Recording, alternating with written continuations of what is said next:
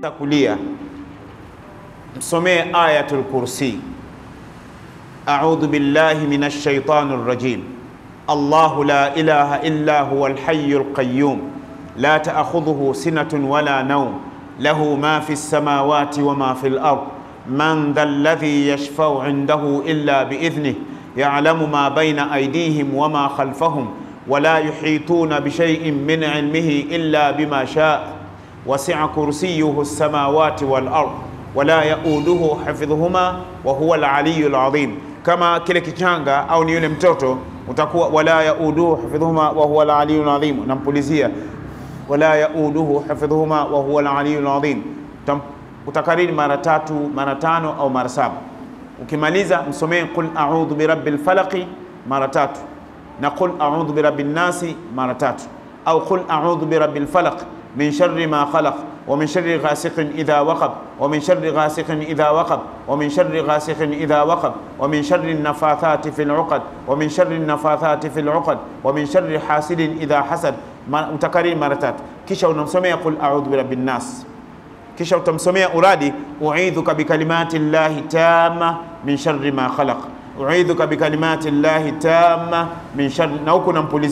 uidhuka bikalimati llahi tama min sharri ma khalaq. Insha Allah, kwa uwezo wa Mwenyezi Mungu, Allah atajalia itakuwa kheri. Na hapo ndio tunapata fundisho kwamba baba na mama midhali wapo na yule mtoto wao pale, wajitahidi na wao kulala na zile nyiradi ambazo ndizo zitakazokuwa zinafanya nini, zina zinamsaidia yule mtoto, sababu Muislamu amefundishwa anapotaka kulala anaweka mikono yake hivi bismillahir rahmanir rahim qul huwallahu ahad allahu samad lam yalid wa lam yulad wa lam yakul lahu kufuwan ahad unapuliza viganja bismillahir rahmanir rahim qul a'udhu birabbil falaq min sharri ma khalaq wa min sharri ghasiqin idha waqab wa min sharri nafathati fil 'uqad wa min sharri hasidin idha hasad bismillahir rahmanir rahim qul a'udhu birabbin nas malikin nas ilahin nas min sharri alwaswasil khannas alladhi yuwaswisu fi sudurin nas min aljinnati wan nas kisha unajipakaza mwili mzima mpaka kwenye miguu. Kwa hiyo hata mtoto mdogo unaweza ukamfanyia hivi, unampakaza mwili mzima, unamfanyia hivyo, unampakaza mwili mzima. Hivi ndivyo alivyotufundisha Mtume sallallahu alaihi wasallam. Kisha kwa hiyo mtu mzima una akili yako, ukishasoma namna hiyo, unasoma na ayatul kursi, ukishasoma na ayatul kursi na amana rasul. Kama huijui ayatul kursi inatosha, alafu unalalia ubavu wa kulia, sawa, unalalia ubavu wa kulia Allahumma, unataka kuanza kuingia jimu kwanza, before ya dua, piga jimu kwanza. Ukimaliza nenda kaoge wewe pamoja na waifu, ogeni. Mkishamaliza mpo tahara, alafu ndio upige hizo dua, sawa. Kwa hiyo utachagua unaanza jimu ligi ya ndondo au unaanza nini. Kwa hiyo utachagua mwenyewe kati ya ndondo na unachagua nini, sawa bwana. Eh, usiwahi kucheza ndondo kabla ya dua, piga ndondo kwanza, sawa, kwa sababu hata Mtume sallallahu alaihi wasallam ametufundisha Najua Waislamu, Mtume ametufundisha sallallahu alaihi wasallam, inapokuwa mwanamume na mkewe wanataka kufanya tendo la ndoa, sawa. Nazungumza maneno, mtu anasema shekhe, mambo ya aibu aibu hayo, mbona mambo mengine mnaangalia kwenye nini? Sio aibu, sawa. Mtume ametufundisha sallallahu alaihi wasallam, Mtume anasema la tarmau ila nisaikum kalbahaim, msiwafata wake zenu kama vile mnyama Si hata daladala inabidi uulize linakwenda wapi, Mabibo au Manzese? Uona dandia tu, sawa. Kwa hiyo unatakiwa usome dua, Allahumma jannibna shaitan wa jannibi shaitana ma razaqtana. Hii ni dua inaombwa kwa mtu aliyeoa tu na aliyeolewa. Kwa wale ambao wanaana na boksa, alale na hizo nyiradi, sawa na washikaji wangu, kuna chawa wangu wengine bado wanalala na boksa huko. Allahumma jannibna shaitana wajannibi shaitana ma razaktana, Allahumma jannibna shaitana. Hiyo ni dua wanandoa wengi hawaijui. Allahumma jannibna shaitan, ewe Allah tuepushe na utukinge na shaitan katika kitendo hiki. Wajannibi shaitana ma razaktana, na umkinge mbali shaitan na kizazi kitachopatikana. Inawezekana katika ile mechi ya ndondo ikaja likafungua goli, lakini ulishatanguliza ile dua, shetani aweze kusogelea. Lakini nakwambieni wanaume wenzangu na akina mama, kama hujaomba dua wakati wa tendo la ndoa, shetani unabandua naye, mnachangia, anajizingirisha hapa katika USB. Wanaume, mmenielewa? Nyewe mnasemaje? Ukijua inauma roho hayumi, roho inauma hivi mpaka babangu anacheka mzee Saidi, nasikia roho inauma. Nazungumza kama vile utani, nasema rusaganya na, na vitu, lakini huu ndio ukweli. Sheitan yatalabas, anajizingirisha katika USB, unakuwa unafanya lile tendo, lakini sheitani anakusaidia. Wanaume, ombeni dua, Allahumma jannibna shaitana wa shaitana ma razaktana. Allahumma jannibna shaitana, jishughulisheni kuomba dua hii kama mnavyojishughulisha na mizizi hapo nje, sawa? Maana kuna mzizi unaitwa tikisapori, unaitwa tikisajiwe, kizaazaa, yote ni utakuta Waislamu wamekaa nje wanasikiliza, kama utadhani kuna sahaba kaja, wako kimya. Kimya, wako namna hii tu. Hao hao ukiwaambia kaeni msikilize angalau aya moja hadithi ya wakai, lakini hapo nje wako la, nionyeshe kidogo. Mtu anaambiwa bwana, ukipiga tu unasikia chwa. Tumeelewana vizuri? Allahumma jannibna shaitana wa jannibi shaitana ma razaqtana. Kwa hiyo ndugu yangu uliouliza swali hilo kuhusu mtoto, umenielewa? Haya, watoto wetu wakati wa kulala tuwasomee dua, sawa?